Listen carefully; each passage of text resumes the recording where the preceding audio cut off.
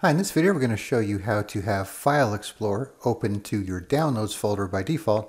So if you're always downloading things and you want to get to your Downloads folder uh, right away, you could do this.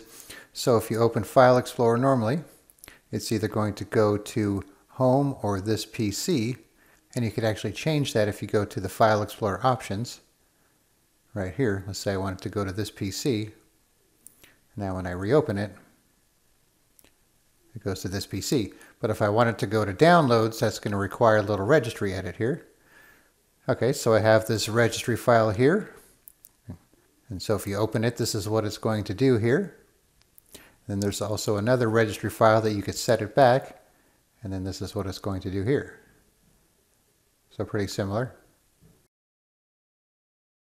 All right, so let's try it out here. So we're going to do the File Explorer Open to Downloads reg file. Double click it, click on Run. Then click on yes, and then yes to the prompt about adding it to the registry, and then click on OK.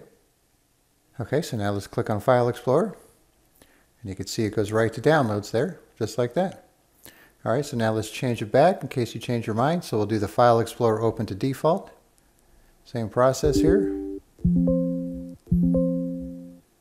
All right, let's close and reopen here. All right, now we're back to home, just like that. All right, so I'll put a link in the description where you could download these two registry files, one to change it to downloads and one to change it back, and then you could try it out for yourself. All right, thanks for watching and be sure to subscribe.